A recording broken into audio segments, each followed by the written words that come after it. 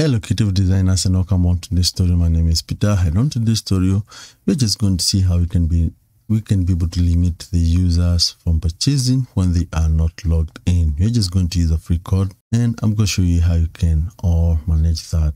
This is how it's going to work. You, you see when you just log in you just be able to see price and once you open the product you can even be able or the user can be able or the customer can be able to purchase it the easy way you can be able to have it added to the cart and can be able to see the pricing. But what happened in the private window or when our user or customer is not logged in? So here we have it on the private window. You say user must log in and don't click on that. You see user must log in for you to be able to see the pricing and even the add to cart button. But all another thing is available and this will be a helpful tutorial for those people who want to sell maybe in negotiation or uh, maybe in bulk or in wholesale whatever it is.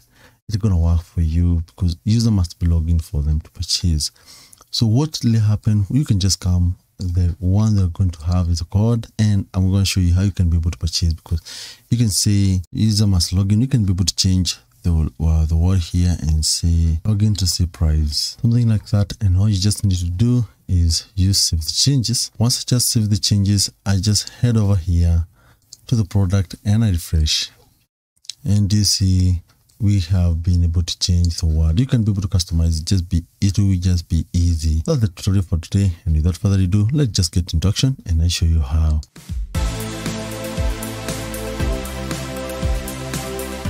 So the first thing we just need to do we need to head over to the dashboard and all the dashboard menu scroll now to here we have the plugin because we need to install a one plugin to facilitate for us to be able to add the code. It's a free plugin but most of the time you should have it. It's called code snippet.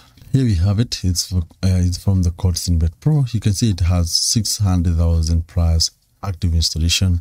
That's updated just four weeks ago. So install the plugin. It's a very good plugin and you should be having it in your website to be to be helpful to you in case you want to add maybe an, uh, an external code to your website. So with that once we just installed it we activate it. Once now we have just activated it you just click here on snippet or just come to the dashboard menu. Here we have the snippet we have all the snippet. You can be able to see all the snippet that are available in your website. Here we have they have the sample. You can see if you want to add css they have a way you can just be able to show uh, they have just provided a simple way you can just be able to do it. And we have also the html the javascript and all that. So we're just going to add new. So these are all the demo uh, the demo that came with the plugin but you can be able to add ones for yourself. So just click on add new button and give it a name. We could just call it hide the price with that don't worry. With that so now you come to the code i include the link on the description on where you can get this code just go to my site and open it here. Here you have it. So we just i have the code here. I've just provided the code so you just need only copy the code like that and you come here to the snippet and you just paste it like that. And you just say only land on the front side end and you save the changes. With that now we have been able to add on our site. So we just open it in a private tab like that.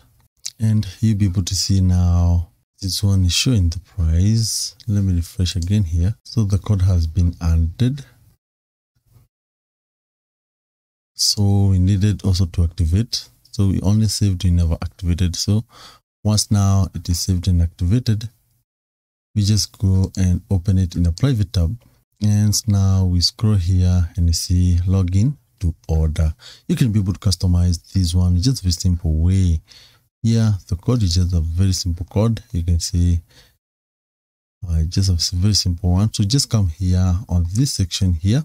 And here you just come here and customize and add the name you just want.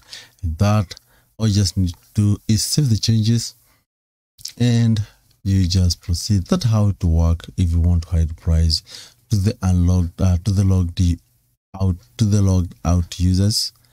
All for free without installing a plugin and without using uh, maybe a very uh, inexpensive plugin. That's the tutorial for today. I hope you did learn something. If you really did learn something out of this tutorial, hit the thumbs up and remember to subscribe if you're new here or you haven't subscribed to this YouTube channel. Till next time, thank you.